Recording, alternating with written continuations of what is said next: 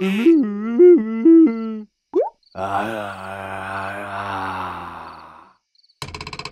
mereka ngobrol apaan ya?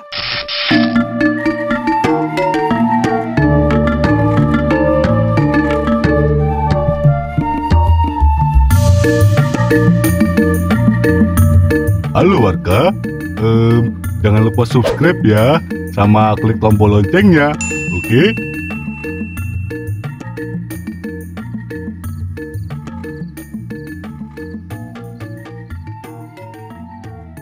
Enak aja si Udin. Masa saya disuruh mikirin solusi buat ngusir hantu? Dikira saya pembasmi hantu apa? Nanti giliran gajinya saya potong, pada nggak terima. Demo. Ah, pusing saya mikirin warga sini. Pada susah banget diaturnya. Aduh. Eh, jangan-jangan itu cuma cara dia supaya saya nggak keluar rumah. Jadi dia bisa enak-enakan gak ronda. Wah, nggak bisa dibiarin nih.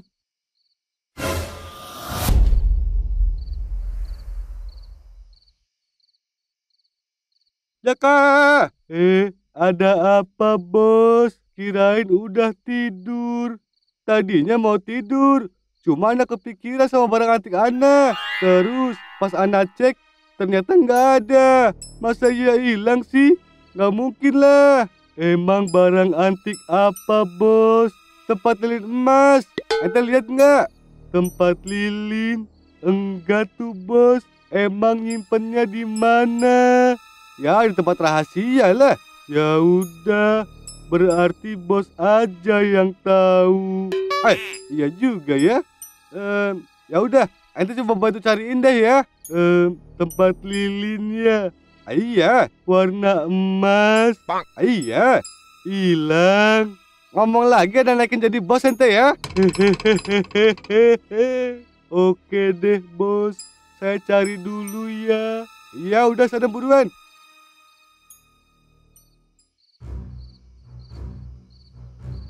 Pak No, kira-kira udah ada bayangan belum? Pelakunya ini siapa? Belum, Din. Masalahnya di rumah Ucup aja, pintu atau kuncinya nggak ada yang dirusak. Jangan-jangan pelakunya warga sini juga, Pak. Kita nggak bisa ambil kesimpulan secepat itu, Bon. Makanya kita harus lidiki dulu. Kalau bisa, jangan sampai warga yang lain tahu. Nanti kita diomelin sama Pak RT. Pasti itu mah, Pak. Pak RT kan bisanya cuma nyalahin doang, tapi nggak pernah ngasih solusi. Iya, dasar Pak Le Semprul. Din, Bon, Pana. Eh, ada apa, Tin? Kok lari-larian begitu? Celengan. Kenapa? Celengan lu hilang. Iya, Din. Eh, kalau tahu? Ucup sama Kapur juga sama. Nah, sekarang elu. Em, emang kapan hilangnya, Tit? Nggak tahu, Pak. Tadi sebelum ke rumah Wan Sutri masih ada. Tahu-tahu pas saya pulang udah nggak ada. Gimana nih, Pak No? Tapi yakin masih ada, Tit. Iya, Pak. Saya yakin banget. Tadi pintu rumah lu kunci nggak, Tit? Gue kunci lah, Din. Berarti hilangnya celengan ucup dan kapur. Mungkin memang saat kita mendaki. Tapi kalau ini kemungkinan baru aja. Karena kan tadi belum lama kita dari rumah Wan Sutri. Ya udah, Tit. Kita coba ke rumah kamu dulu yuk. Ayo deh, Pak.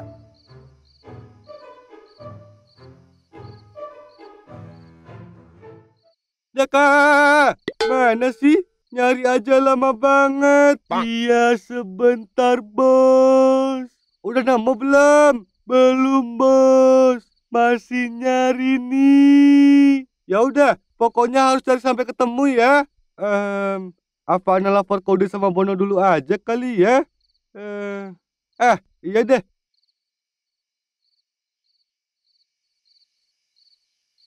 Tuyul mah, apa kamu punya temen deh? Kalau cara nongkrong dia kayak begitu. Emangnya kenapa, Cong? Ya itu, sering ngutang. Ya, ngutang mah kebiasaan, Cong. Harusnya lu lah yang jangan mau diutangin. Ya, pikir gue kan, dia bayarnya lancar. Gak taunya molor terus. Rugi mulu udah gua. Ya, ya udah, be- be- besok-besok jangan jangan dikasih utangan lagi, Cong. Gak bisa, Pir. Dia suka ngancem. Kalau nggak dikasih utangan, dia nggak mau bayar utang-utang dia yang sebelumnya. Wah, li- li- licik juga ya si Tuyul lah. Woi, Cong. Bikinin gua kopi dong. Nah, mantap nih. Kalau mereka-mereka mah nggak bakal ngutang deh. Eh, emang siapa yang mau bayar? Gua minta. Eh, enak aja lu. Nggak bisa, nggak bisa, nggak bisa. Sono, kalau mau minta-minta mah jangan di sini. Hus, hus, hus, hus. Gitu banget sih lo sama teman. Eh, teman macam apa yang kalau datang cuma mau ngutang doang? Nggak, nggak bisa. Ya udahlah, gua balik aja ah. Gue juga cabut, Aceng. I- iya, o Owe juga. Ikutlah gue. Iya, iya. Makasih ya udah mampir. Emang cuma mereka deh teman-teman gue. Tuyul mah bukan. Utang mulu kerjaannya. Eh, Mumi, lu jangan kayak si Tuyul ya. Kalau mau beli sesuatu itu ya bayar, bukannya ngutang. Ah, gak ngerti gue lu ngomong apa.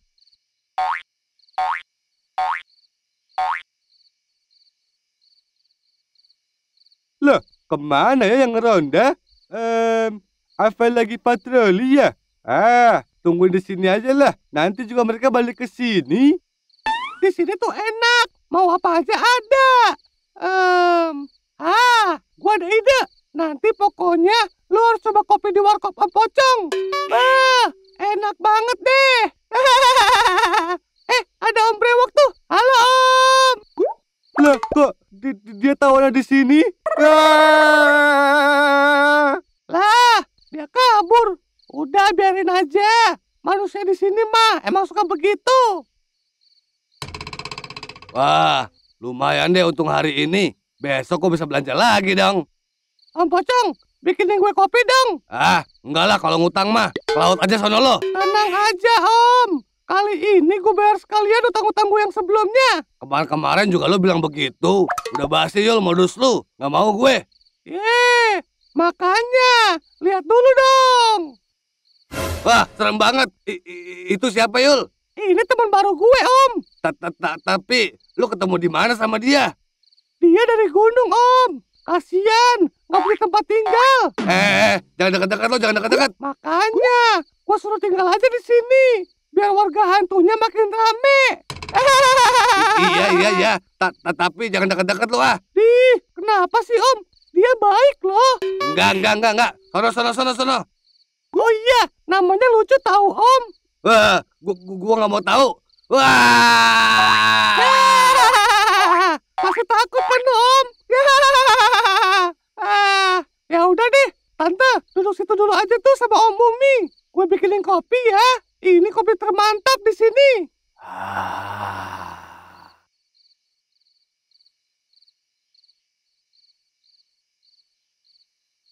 Eh Pocan, lu kenapa nggak ikut yang lain nongkrong? Enggak ah, aku lebih nyaman di sini. Di warkop mah laki-laki semua. Iya sih. Loh, kirain si Tuyul ada di sini. Tumben banget dia nggak kelihatan. Ke mana ya? Gue juga nggak lihat. Mungkin lagi nyolong kali dia. Emang parah dah. Nggak ada kerjaan lain apa tuh si Tuyul? Ah, itu mah emang udah jadi kerjaan utama dia. Tumben nih, yang nongkrong udah pada pulang. Gue mah ngantuk. Nggak tahu deh kalau yang lain.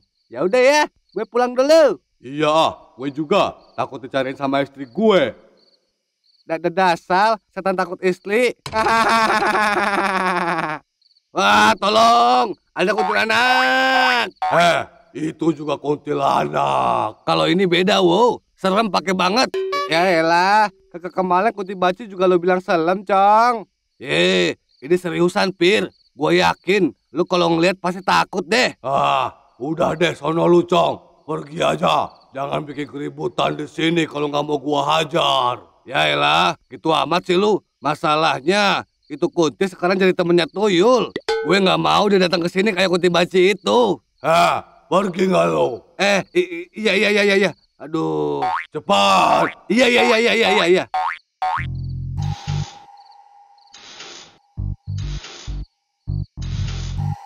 Em, sama, Sama gimana, Pak? pelakunya nggak ngerusak pintu rumah. Em, jendela juga sama, semua masih utuh, nggak ada bekas congkelan nih. Apa pelakunya pakai ilmu hitam, Pak? Bisa nembus dinding? Siapa? Dukun itu. Kan udah kita hajarin di gunung waktu itu. Iya sih. Ya, Hehehe, ada apa Wan? Ah, ternyata kalian kumpul di sini. Kuntilanak itu ada lagi. Tadi dia lewat pos ronda. Ih, kok belum hilang sih? Aduh, em, tapi masalah kuntilanak itu nanti dulu deh. Yang penting dia udah nggak di rumah Anda. Sekarang ada masalah yang lebih penting. Masalah apa, Wan? Celengan nanti hilang juga, Wan. Hah? Celengan? Eh, anak itu nyimpen duit di bank. Kenapa pakai celengan? Iya lu, dia kan orang kaya, Bon.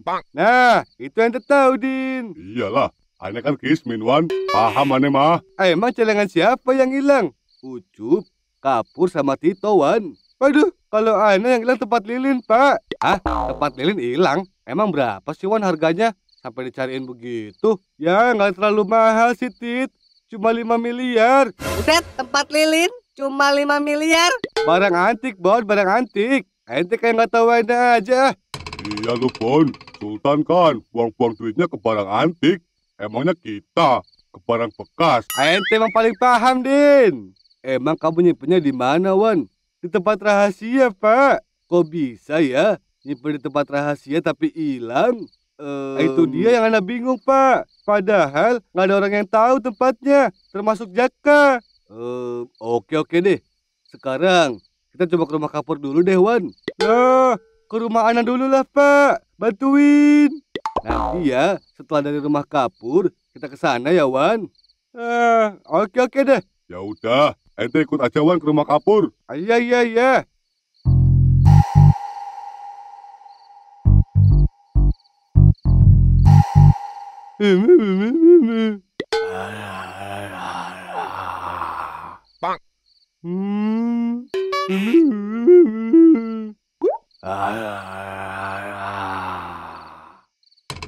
Itu mereka ngobrol apaan ya? Kayaknya nyambung gitu ngomongnya. Bagus deh.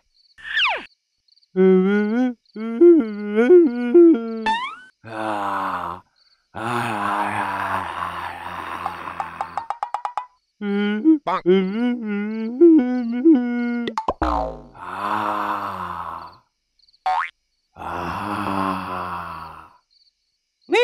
kopinya udah jadi. Ini buat Tante Kunti satu. Satunya lagi buat Om Mumi. Ya udah, kalian lanjut ngobrol dulu ya. Gue mau pergi sebentar. Jangan ke mana-mana, oke?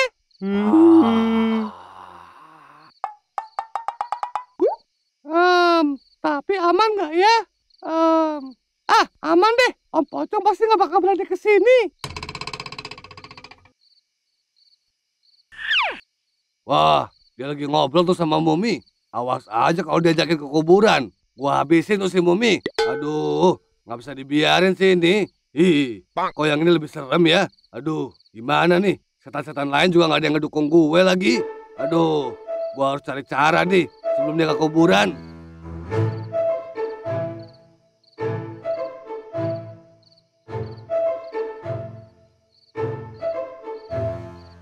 Ternyata semua sama, nggak ada kerusakan sama sekali. Waduh, saya jadi bingung. Eh, Bon, gak biasanya Pano bingung. Iya, Din. Kalau dia aja bingung, apalagi kita ya. Kita lapor polisi aja deh. Betul. Yakin, Pak? Iya, Wan. Biar mereka yang selidiki.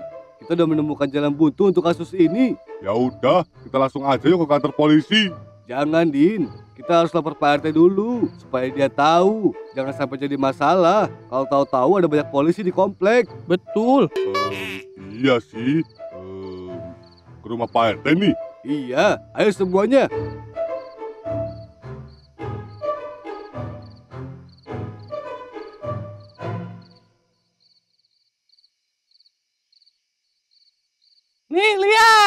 Ini yang terakhir buat aksi kita malam ini. Mantap kan?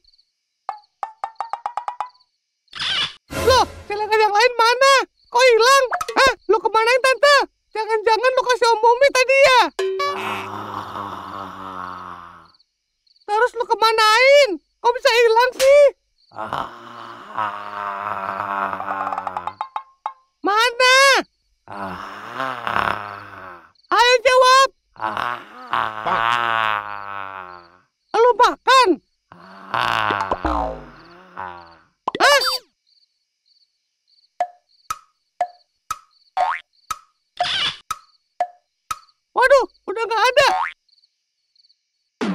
Aduh, gimana nih? Masa cuma sisa satu celengan doang sih? Gimana mau kaya nih?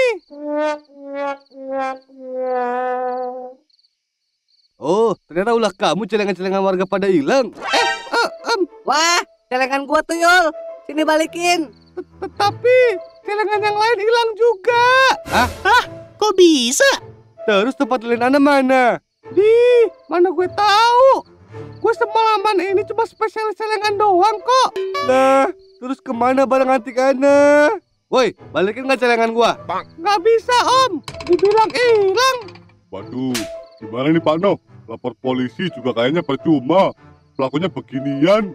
Iya betul, Ya elah, terus gimana dong? Itu celengan udah banyak isinya. betul. Tanya itu sama dia, dimakan semua sama dia celengannya. Bos, ini tempat lilinnya ketemu. Eh, eh, iya.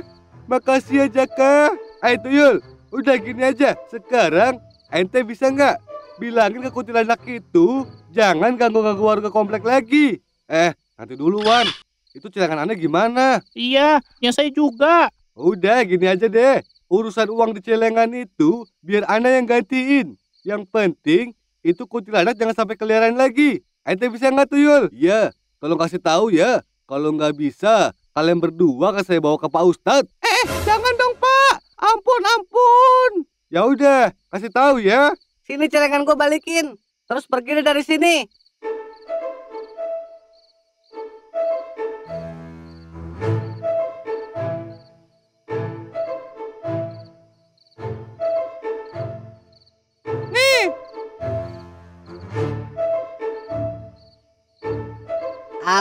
Alhamdulillah, belum sampai hilang. Bener ya Wan bakal diganti. Iya Ti, tenang aja. Cover juga tenang ya. Yang penting kunti itu nggak ganggu-ganggu lagi deh. Dan tempat lilin Ana juga udah ketemu. Sini Jaka, coba Ana mau periksa dulu. Wah, eh, itu nemu di mana? Di bawah kasur, bos. Eh, iya ya. Kemarin sebelum pergi ke puncak, ada pindahin ke sana ya. Kayak gitu doang harganya 5 miliar. Ah, iya, Din. Dan sebenarnya ini nggak boleh sampai hilang. Emang kenapa, Wan? Soalnya serial berikutnya ada hubungannya sama ini. Wan, nggak bisa pak nggak spoiler.